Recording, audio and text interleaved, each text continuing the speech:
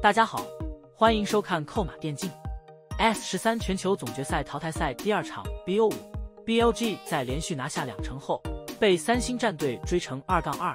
在最终决胜局中，BLG 初期陷入被动，但团战突然爆发，连续打出精彩配合。BLG 中期连续抓机会，打大龙后不断接团，最终成功击败对手，晋级四强。最后的决胜局 BP 阶段。BLG 蓝色方抢下兰博，搭档了皇子发条的组合，二轮出赛纳塔姆，形成一套上中野进场打伤害，塞纳打对线压制的阵容。三星后手出锁头打野位，搭档辅助瑞尔打强开，中路继续阿卡丽，上路选择纳尔来稳住对线。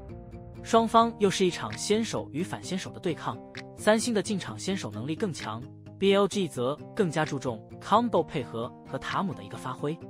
开局阶段，BLG 上下两路都获得对线优势，寻强势入侵野区打 Peanut，并且当面配合兰博越塔击杀纳尔。但后续 BLG 的运营是被 Peanut 偷掉了先锋，三星是选择了一波野区联动的运营去上路将兰博打回家后，选择先锋拆一血塔。而后三星设定陷阱给 b i n 再次以三人针对兰博完成击杀，野区还留住支援的牙膏打出换二，BLG 陷入被动。拿下前两条龙后，发现龙魂是风龙，第三条龙是放给了三星。养肥纳尔后，三星边线开始占据优势。纳尔阿卡丽连续单带给 BLG 带来压力，BLG 劣势情况下抓对方单带的时机，强行打大龙，但速度太慢。三星前来打团，BLG 选择正面接团皇子进场，成功形成集火打出零换二后撤。随后不久，双方展开小龙争夺。寻抓住 Doran 落地的位置，先手配合队友完成击杀。后续塔姆顶到阿卡丽，BLG 拿下两个人头后，顺势拿下大龙，展开大龙运营拆塔。但后撤过程中，皇子野区被抓后阵亡。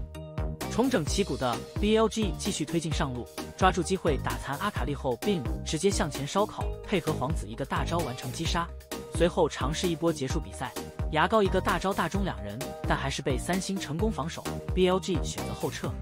随后，BLG 入侵野区，抓到瑞尔先手一套强行追击，三星支援全部赶到，BLG 率先击杀瑞尔后，塞纳阵亡，干巡直接进场收掉卡莎，拿下一千块，BLG 残血完成收割，打出一换四，但不能一波，选择拿下大龙。大龙推进过程中，BLG 直接与三星接团击杀 Peanut，拉开后推进高地，再次强行开团，一波打赢后，顺势一波结束比赛。本场 BO 武士创造了本次 S 十三全球总决赛的最大冷门，赛前三星的获胜赔率仅为一点一，但 BLG 创造奇迹，以近乎完美的发挥完成逆袭，在被连追两局的重压之下，第三局全员心态稳住，前期陷入劣势的情况下，选择以出色的决策和团战配合拿下了这一城。BLG 也是延续了自己作为全华班在世界赛的传奇生涯。MSI 加上世界赛 BO 五直接双杀 LCK 冠军战队三星，成为了名副其实的冠军杀手。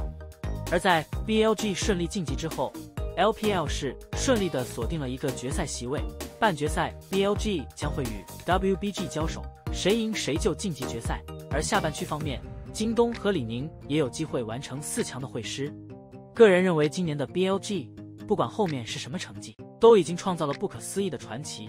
这支神奇的队伍在去年斥巨资组建银河战舰的情况下遭遇滑铁卢，今年以这样的一个阵容重振旗鼓，在不被所有人看好的情况下一路走到这里。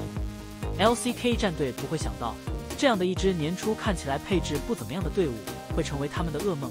三星更是连续两次倒在同一支战队手里，被寄予厚望的三星，连续两年未能满足 LCK 观众的期待，他们将会承受来自 LCK 观众的无尽怒火。而 BLG 则将继续冲击冠军。个人认为，BLG 现阶段的实力对比 WBG 来说更有机会晋级决赛。关键就是看另外一个半区的对手是谁了。如果再碰到京东的话，就将会是 BLG 全年第九次与京东会面。如果说第九次 BLG 能够取胜的话，那么这一年的剧本就太过梦幻了。就算顶级编剧过来，估计都不会这么设计。总之，希望 BLG 和其他三支 LPL 队伍好好加油。争取能创造 LPL 在世界赛称霸的盛况。站在观众的角度上 BLG 这次的胜利，用再多的溢美之词去称赞都不为过。这样的一支奇迹的全华班，值得所有人的支持和喜欢。也希望 BLG 后面的比赛越战越勇，朝着冠军的目标努力前进。也希望 LPL 其他的队伍一起加油，争取完成不可能的任务，完成一波四强包揽。好了，以上就是本期的全部内容。你们觉得 BLG 的表现如何呢？大家有什么想说的？欢迎在下面的评论区交流讨论，我会去挨个查看。感谢老爷收看，欢迎点击订阅，我们下期再见。